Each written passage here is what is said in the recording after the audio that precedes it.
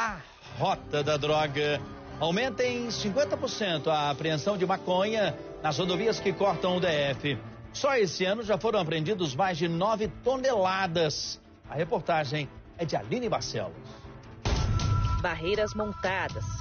Agentes da Polícia Rodoviária apostos. Helicóptero no ar. É mais uma operação que vai começar. Veículos suspeitos são abordados. Os agentes partem para a e tudo se confirma. O trabalho da Polícia Rodoviária Federal tem chamado a atenção. Só este ano, mais de 9 mil toneladas de maconha foram apreendidas nas estradas do DF. 50% a mais em comparação com o ano passado, quando 6.500 toneladas da droga foram recolhidas pela PRF. A gente deve esse esforço conjunto também com, a, com operações que foram realizadas com a Polícia Civil, é, principalmente com a CORD, também com treinamento intensivo que foi realizado esse ano junto com os PRFs da fronteira que vieram aqui para o Distrito Federal e realizaram capacitações com os nossos policiais e também o uso dos cães farejadores.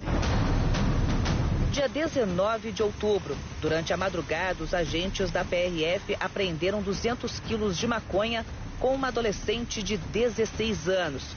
O flagrante foi em Águas Lindas de Goiás e o menor já havia sido abordado antes pelo mesmo ato infracional em 2020 no estado do Mato Grosso do Sul. A droga estava no banco de trás e o adolescente confessou que receberia 5 mil reais pelo transporte. Na condução do, do, veículo, o próprio motorista já começa a se entregar. O passageiro também vai ficando mais exaltado. E isso são alguns sinais que vão aumentando o nível da entrevista e o nível também de procura no veículo. Né? Aí se abre o bagageiro, é, chama os cães farejadores para fazer um apoio mais intenso nesse tipo de abordagem, onde o próprio condutor tem uma postura diferenciada das, das entrevistas normais. Né? Dois dias depois, uma nova operação. Depois de três meses de investigação, a PRF, em operação conjunta com a Polícia Civil e o Ministério Público, apreendeu uma tonelada de droga na BR-040. Dois batedores e o motorista que fazia o transporte foram presos.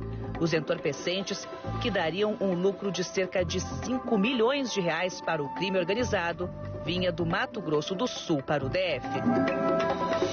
O dia 27 de outubro foi o recorde. 3 toneladas de maconha apreendidas em uma única abordagem. O caminhão, que vinha de Foz do Sul, seguia na DF 250 sentido Planaltina quando foi parado. A carroceria do veículo estava aberta, transportando cones, uma forma de tentar despistar os agentes. O condutor também usava um colete reflexivo para tentar enganar a PRF. Veja que o depósito da polícia ficou pequeno para tantos tabletes da droga. Ao abordar o caminhão, eles estavam com cones, cones pequenos, grandes de sinalização de trânsito. O próprio condutor estava com o colete reflexivo, mas na entrevista a gente já percebeu que ele ficou nervoso. Quando abrimos a parte interna, a cabine interna, que era uma parte pequena, estava com fardos de maconha até o teto. Então foi uma das maiores apreensões nos últimos anos do DF, tanto da PRF quanto da Polícia Civil. No dia seguinte, na BR-050, próximo a Cristalina, mais droga apreendida. Desta vez, três traficantes foram presos e 725 quilos de maconha foram para incineração. A maioria das drogas apreendidas nas rodovias do DF vem de países da fronteira, como Paraguai e Bolívia. Os criminosos tentam esconder os entorpecentes nos veículos das mais diversas formas, na expectativa de não chamar a atenção dos agentes que trabalham na fiscalização. A Polícia Rodoviária Federal não pode revelar as técnicas usadas, mas as abordagens são bastante assertivas, ainda mais quando conta com o apoio dos cães farejadores. Na maior operação de apreensão de drogas, os cães farejadores estavam lá. Pastor belga, pastor malinois e pastor alemão. Essas são as raças dos cães que atuam nas operações com a PRF. Para os animais que têm entre 2 e 5 anos de idade, tudo não passa de uma brincadeira.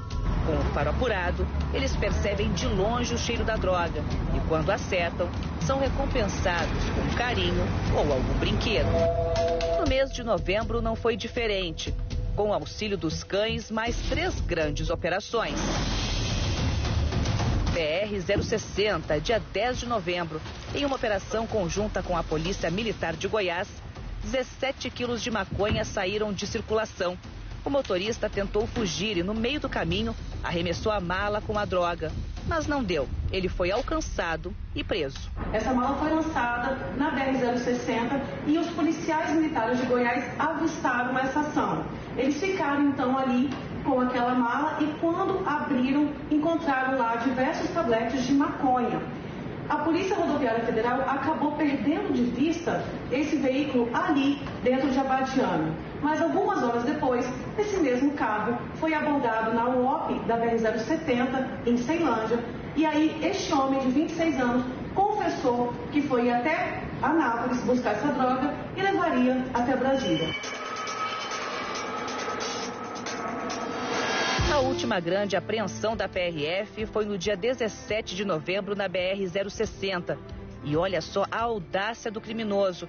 Ele tentou esconder 91 quilos de maconha em sacos de ração. Não colou e ele também foi preso.